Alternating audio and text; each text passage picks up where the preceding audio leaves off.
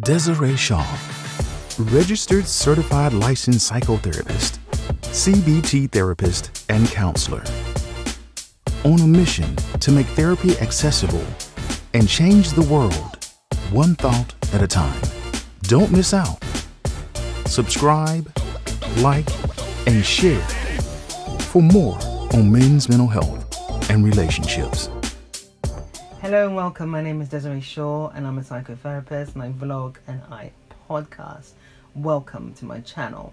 If you haven't already, make sure you like and subscribe. So, how do you start your day? How you start your day is super important to how you proceed in the day. It's the very base of the day, the morning. How many times I've met somebody in my clinic or even outside clinic I meet, I socialise, and people tell me that they're not morning person. They absolutely hate the mornings. They dread the mornings.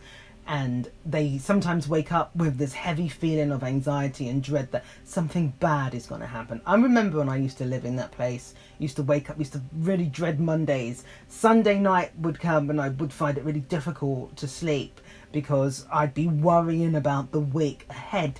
You know, you can be worrying about Thursday on on Sunday afternoon. It, it constantly wishing our lives away, you know, forcing ourselves into the future, and feeling all kinds of discomfort and awfulizing at every second that we can possibly, you know, any every second, every term, constantly, you know, worrying. The way you start your day is important to how you proceed throughout that day.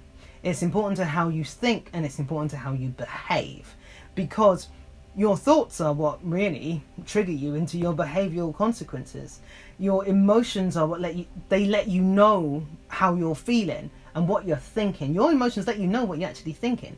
You wake up with anxiety that feeling of dread. You're actually thinking thoughts that you know support that emotion. When you wake up in the morning it's the most important time. You know if you wake up in the morning you want to really provide yourself with enough support, enough energy to enable you to proceed productively. That's how important your mornings are super important. I wrote a very brief guide, which is free, on my website, and it's um, it's called the Guide to um, Waking Up in the Morning. Very simple, a guide to waking up better. It goes through a structure of ways and tips to support yourself to embrace the day. Because if you don't embrace the day and you're constantly pushing the day away because you wake up and you just feel that horrible dread, which is easy to feel. I, I live in the UK and when it gets dark, when we have to go, the clocks go back the morning happens and it's still dark and you've got to turn on the light to go and use the bathroom and it's got that feeling of that discomfort and there's cold and everything's dark and particularly if it's raining and it's grey it's easy to go with that and it's easy to feel that. Now your mind is the most powerful thing you know it's the, it's so powerful. The most powerful thing you own really that's you. Your mind is what triggers you to move and do things it, it helps you get through things. It supports you to deal with things. Now, if your mind is, you know, stricken with negative automatic thoughts and your body is feeling the physical symptoms of that, and you find it so difficult to proceed because you are stuck in these negative automatic thoughts, you're probably going to have a really, really gruesome day. You know, some of us start Monday and we hate every single day until Wednesday evening, where we start to feel a little bit better because it's Thursday, then it's going to be Friday, and then it's going to be the weekend, as if you don't work on the weekend. But that's a lot of time to wish away. One of the things we have as human beings is time. And time is inevitable, it is going to pass. So when you push yourself into the future, fearing what is happening now, you rob yourself. You actually rob yourself of the importance of recognizing what is now. You take away the your very own power of how you can respond to today in order for you to build the foundation for tomorrow. Today is really important. Waking up with a mindset of growth and enhancement supports you to flourish.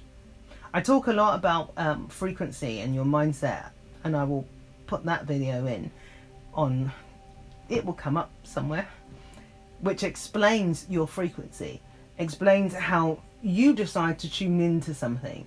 Because it's all about what you are deciding to do. We're heavily influenced around us by people, by social media, by all sorts of things which can help us to feel worse about ourselves. But we can actually turn that around because we are the powerful ones.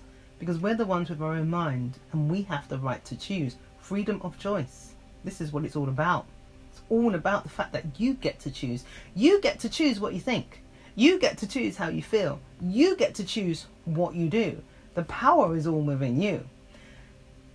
But often when we've been influenced by others, we don't recognize that we actually have that power. So to support you moving forward, I would say have a look at my um, my guide on my website, which, which will be in the description box below. How to wake up better. I think it's called How to Wake Up Better.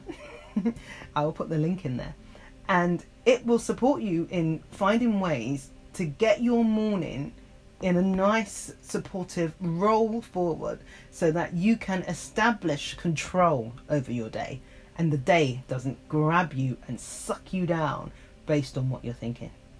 Thank you so much for watching. My name is Disree Shaw and I'm a psychotherapist and I vlog and I podcast. I hope you have subscribed to this channel. I hope you enjoy the videos. Thank you for watching. Bye for now. Don't miss out. Subscribe, like, and share for more on men's mental health and relationships.